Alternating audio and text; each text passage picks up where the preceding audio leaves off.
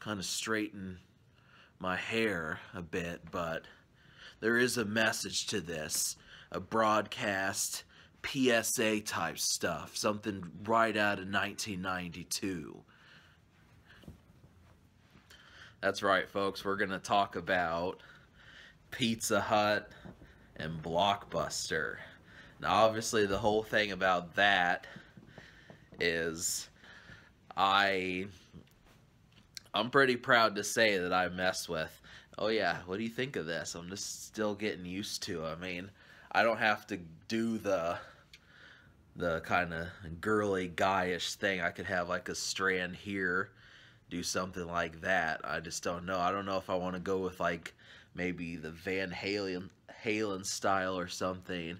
I almost feel like I need to take up guitar lessons. I mean, I just need like the bang going down like that Johnny Depp movie.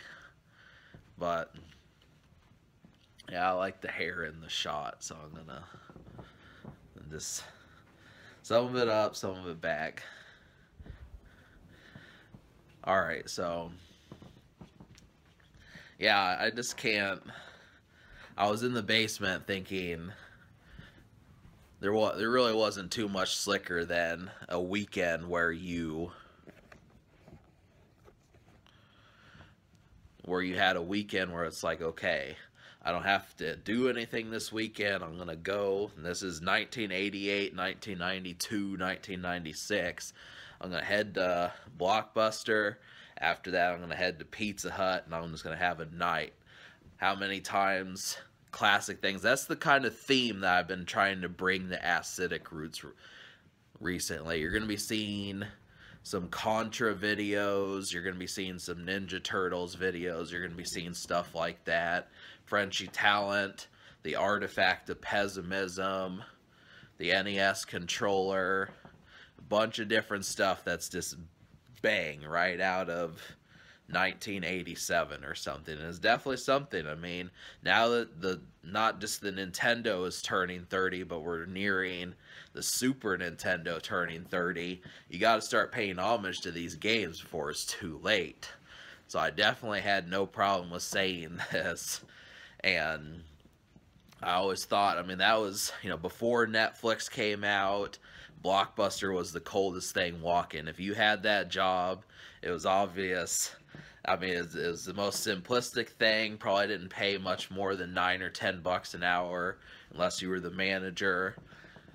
But there was just something about it. I mean, all you had to do was just stand there and know where all the movies were and games. So this is as simple as that. I mean, really, obviously, it, it I'm just gonna kind of flip my hair at how simple a job like that would have been. You just can't argue with it. I mean, you really can't. So yeah, Contra is to pop up. Contra is definitely to pop up. And Contra is definitely to pop up. I might, I'm probably going to feature a lot more games. I just felt like damn it, you really can't see that well out here. I mean, I've got three lights on and it just doesn't seem to matter. I keep trying to walk, but yeah, so NES is going to be here throughout this year. I mean, that's definitely, and this is, you know, as far as this is concerned, this is not just year three we're talking about. This is the season four of Acidic Roots. Gnarled up. How would you not like that? Be honest. You have to speak truths to know truths, man. sound like Hyde or something. That's just another person. Yeah. Your goals are unrealistic. You're never going to get anywhere without guitar, man. Do you ever want to be on the cover of Guitar World? It's going places.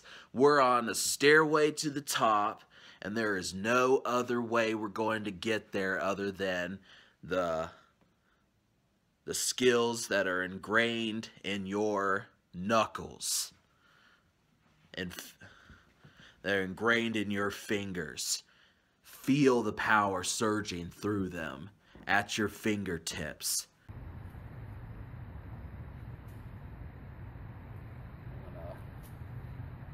do